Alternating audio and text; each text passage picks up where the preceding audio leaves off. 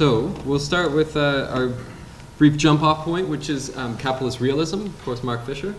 Um, so as we know, Fisher is talking about the, the pervasivity of capitalism, um, that it's seeped into all pockets of life and experience, um, fundamentally altering how reality is.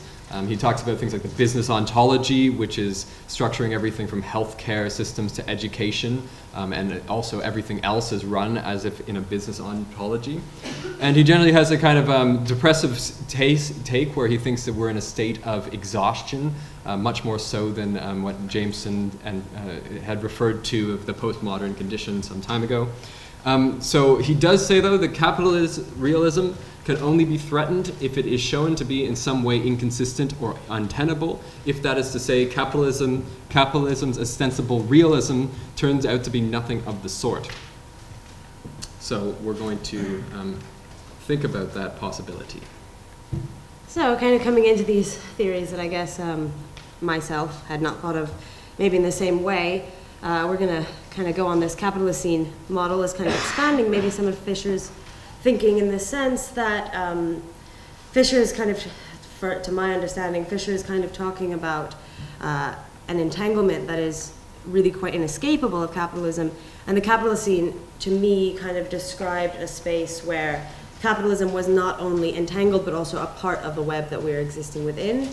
Um, and so this kind of uh, puts capitalism within our kind of planet, within nature, and asks us um, kind of how uh, the overlapping philosophical, political, economic, and world historical registers we might begin to identify 21st century capitalism spaces of vulnerability and contradiction, spaces co-produced through the web of life. Um, Shall I? Yeah, so this, this theory fundamentally says that there's no difference. We, we shouldn't think of there as a difference between nature and humans. Um, so it's kind of opposed to the Anthropocenic perspective, um, which is establishing a conventional logic and description that separates humanity from the web of life. So with the Capitalocene, we're thinking um, really of humanity, capitalism, and other living organisms, even non-humans, as all entangled and uh, meshed together. Something which we don't really see Fisher doing uh, explicitly in capitalist realism. Yeah, that brings me to the kind of sorcery element of this, and I really like Isabelle Stengers' um, kind of theory that, well, kind of bouncing off Latour since they, woke, they worked quite, together quite a bit. Like God, capitalism does not exist, or as Isabelle Stengers kind of points out to us that um, in this kind of idea of, of uh, theories that we as people create, it is also something that we are maybe wearing as a lens in order to make our, well, in order, like a spell, is in seeping into the ways that we look at reality. Um, and then Isabelle Stengers, on the contrary, uh, is looking to make sense of how particular modes of existence come undone under the pressure of normative forces, or in turn, express forms of resistance that open up the space for persistence and becoming. And that leads us to multi-species storytelling. Yeah, so this kind of, um, it, it, allows for more of an entanglement, uh, as we were saying, between the, the natural world, between non-humans uh, and humanity.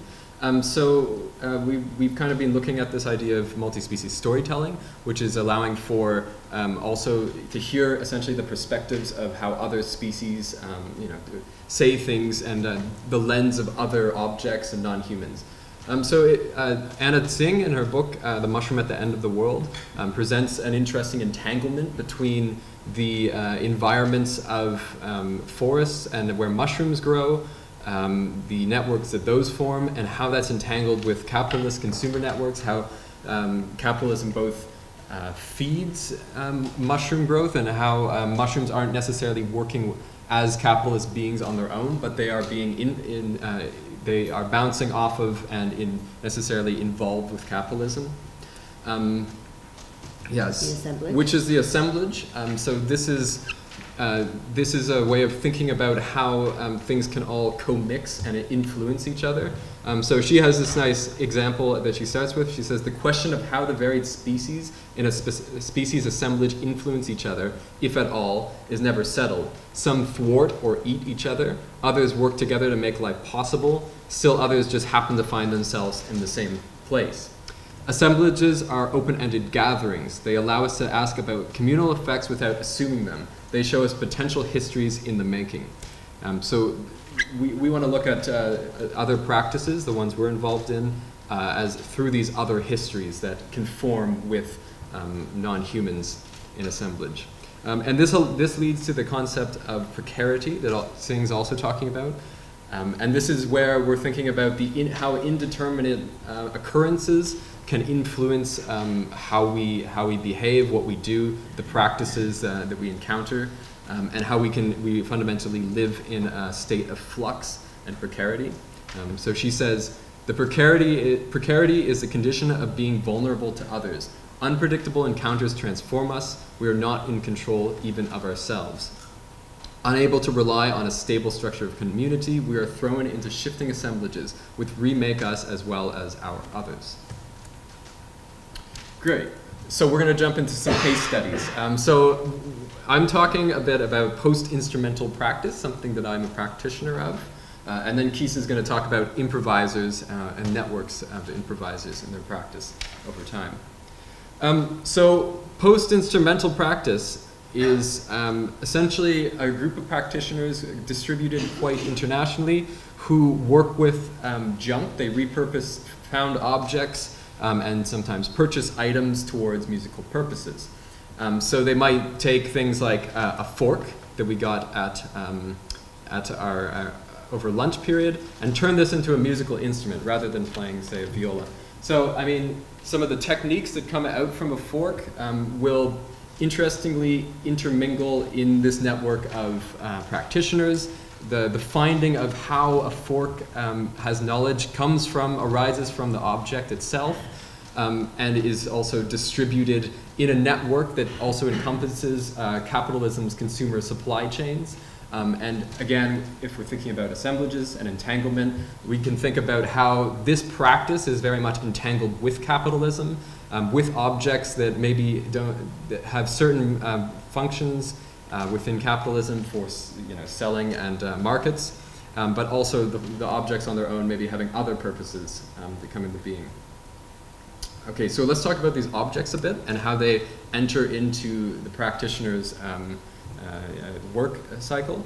Um, so one thing is the finding of the object. Um, so these objects are often distributed around in spaces. Um, they're already probably for some purpose. This fork was used for eating, but through a simple playfulness with an object, practitioners take it into the practice. So maybe this fork has a great sound of which in experimental music is beautiful.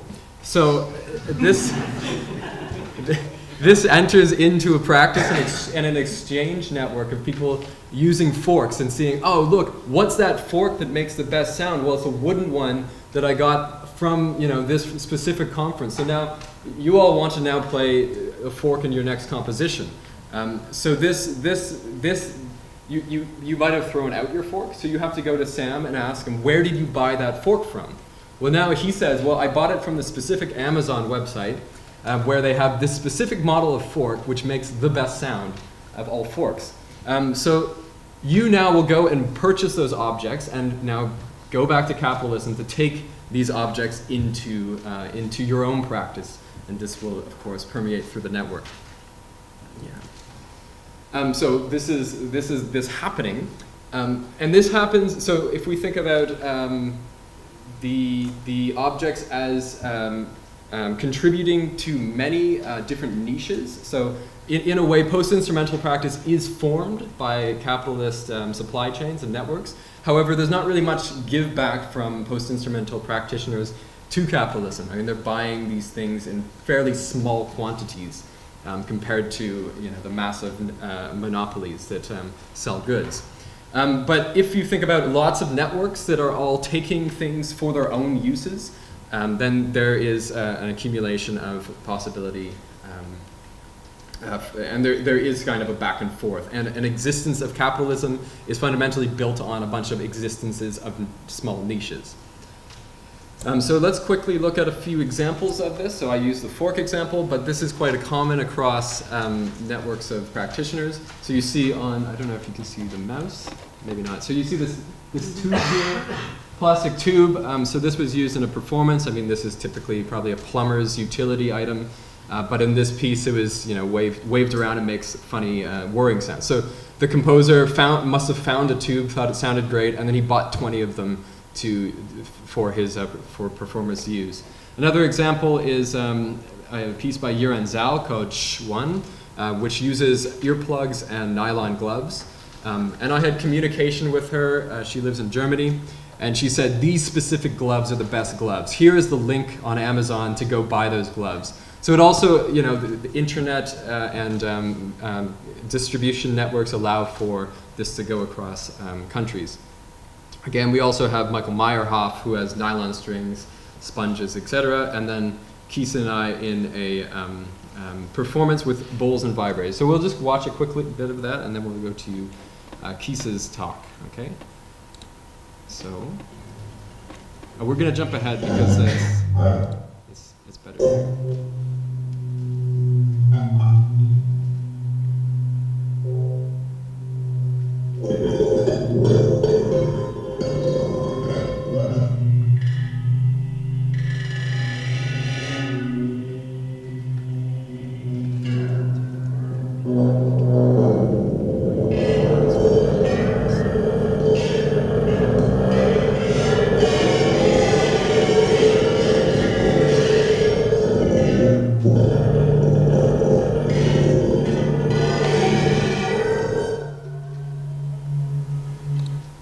So we won't get too far into that. But as you can see, uh, these vibrators um, and also these like metal salad bowls are being repurposed for making weird music.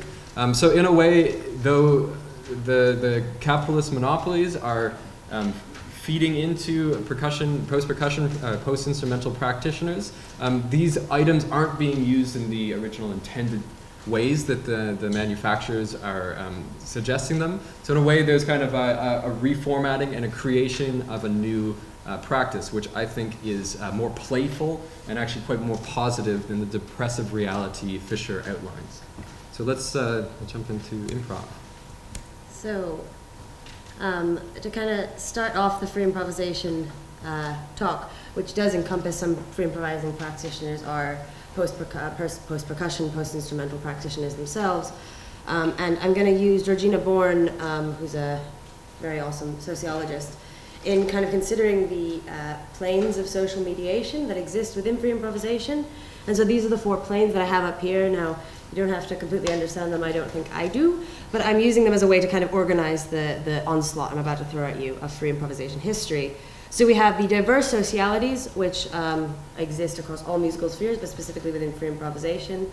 Um, imagined communities, which is usually their audiences, and in fact the identities that these audiences form around their diverse socialities.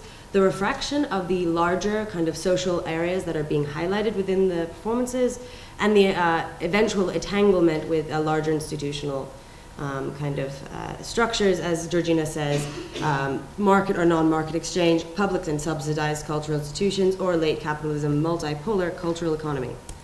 So now I'm going to go out of this and show you a rather onslaught of the history. So we're starting the 1960s, 1970s, and in these four planes, I'm going to start putting in big kind of moments um, that we remember in terms of free improvisation history that I think show a nice uh, trans transitioning of the field itself.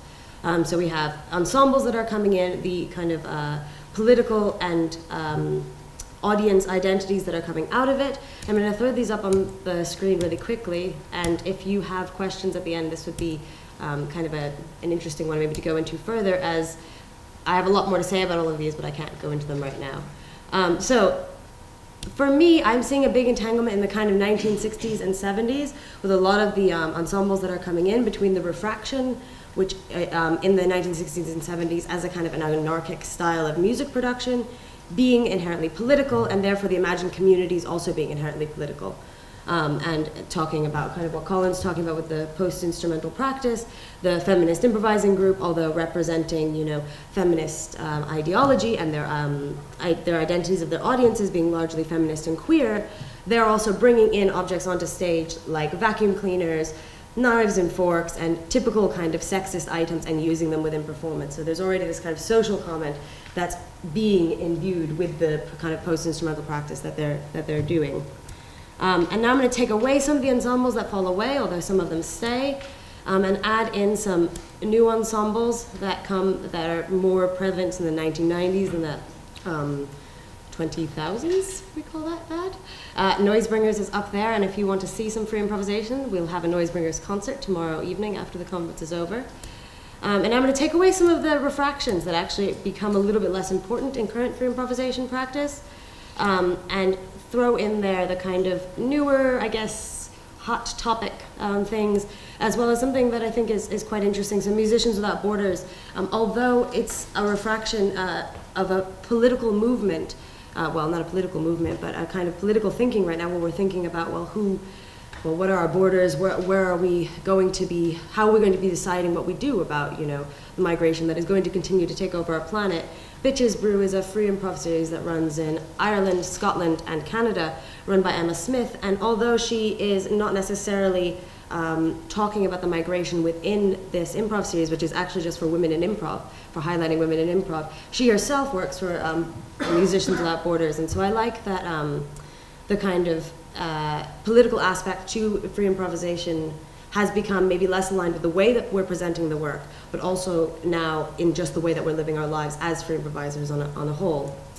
Um, there are new imagined communities that uh, are, come in as a response to the kind of change in some of the thinking we're having. Uh, free improvisation is being used a lot within kind of music therapy, well-being, it builds confidence. Um, there's the idea that everyone is an improviser, and so the audiences that go to free improvisation are usually also free improvisers themselves. And we have the new aspects of kind of codes and te uh, te technology and internet.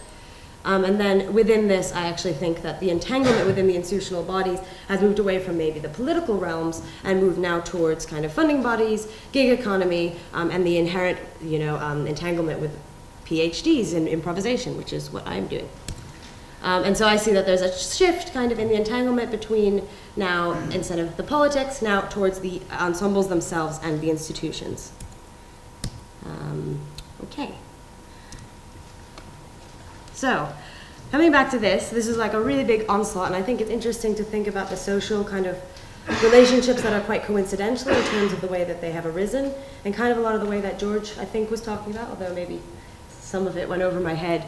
This is kind of like specific examples of where these wide webs of interaction are happening, how they're changing, and actually how that entanglement is really not something that we can necessarily put our finger on, and also that it is a lot of the time very coincidental to the time that it is taking place, although there's bleed over from the different evolutions of these entanglements. Um, and I, so I bring this up, not that I have an answer for you as to how that entanglement with uh, a lot of what would be the negatives to that entanglement would be with capitalism, but I think that um, inherently that entanglement is constantly um, fluxing, and therefore it is kind of hard for capitalism to inherit, to in some way say that it has a stronghold in any particular way on the free improvisation community, which I'm sure it doesn't care much about. Okay. Should we do conclusion? Conclusion. Oh no, oh, no there are no examples. I, I will. You can just ask for these after if you want. Um, I had a kind of cheeky question I kind of wanted to pose to you guys. Um, and I don't necessarily think I have an answer, but it struck me that uh, Ayn Rand is kind of talking in the 1950s about uh, a society which is losing its kind of creativity and its you know experimental uh, thinkers and minds. And she says sees this as a lack of capitalism. And then reading the mark fisher i was thinking like well he's kind of saying very similar things except on the complete other side of it. So i just wondered if you guys had some maybe interesting things to say about maybe this anxiety of the loss of of um, experimentation with with our i don't know with the, with our, our current society um, and then ask possibly maybe um, whether some of the answers uh, do exist in maybe some of these larger assemblages that are beyond maybe the, the human specific kind of focus. Yeah, so essentially how to think about, you know, capitalist realism as maybe there's lots of pervasivity of capitalism in many things, and it does come into contact with other non-humans, such as the mushrooms or the objects. Um, but how also those things operate on, and, and on their own scale. They, they have other um, interests in mind. Um, and to think of uh, entanglements with, um, with the world as a change of perspective um, from an all-pervasive capitalism to uh, allow for um, a, an alternative future that's more hopeful. So, do you want to read the last Tsing uh, quote? So, Which one you want? Yeah, I don't know which one, whichever. Well, if I have added to the conversation, it is in drawing attention to livelihoods that are simultaneously inside and outside of capitalism. Rather than focus our attention only on the capitalist imagery with its displaced workers and savvy managers, I have tried to show precarious living in scenes that both use and refuse capitalist government governance. Such assemblances tell us what's left despite capitalist damage.